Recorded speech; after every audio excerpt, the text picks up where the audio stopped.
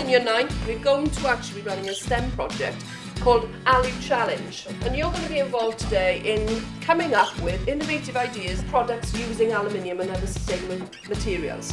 What we found interesting about the Aluminium Challenge was that it was another opportunity for us to actually get involved in a STEM project where the pupils are working in groups. The actual setup, the information that was provided was nice, clear, concise and, and gave them a starting point. We gave them complete choice as to which ones they did. We chose the aluminium challenge as the actual STEM project for year nine.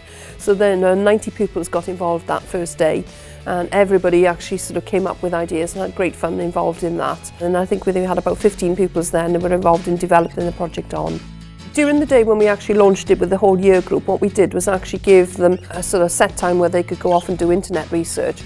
So they were involved in that and then they were also sort of working as a team, coming up with ideas, throwing ideas together, brainstorming what they were going to actually do. And then the teams then that developed their work on for the competition had time to actually go off and do some research and, and make sure that they covered all the points as well.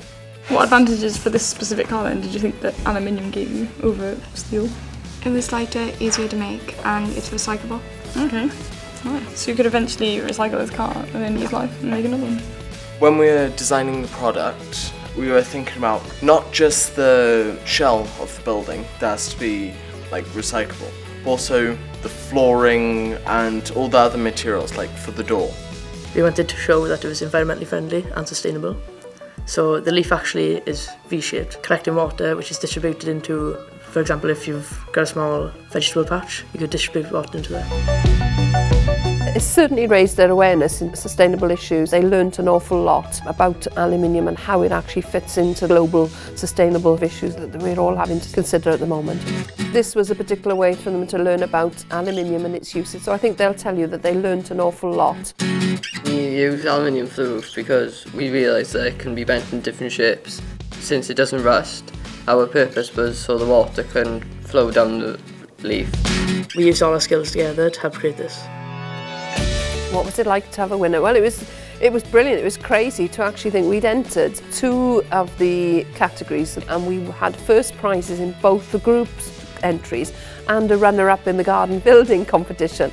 So once you've actually sort of won, how do you follow that, as it were? But um, we'll give it our best, we'll have a go. And I think it's not just about the winning, it's just the pupils get an awful lot out of it, regardless of whether they win the competition or not.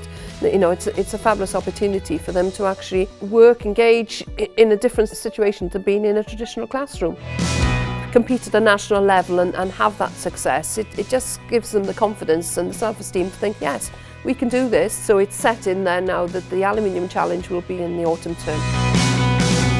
Whereas you perhaps think of these science and engineering things more to be male related, we found that we got a nice combination of girls and boys and they both bring something to the mix. There's such a shortage of, of sort of you know engineers and, then sort of sem sort of career paths that really trying to engage with them at the earliest possible opportunity.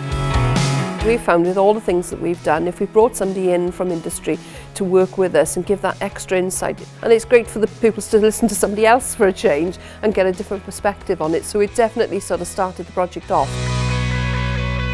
I didn't know anything about aluminium, but now like I've learned quite a lot, like how it can be reused and it can be like bent into different shapes. I found it like really fascinating.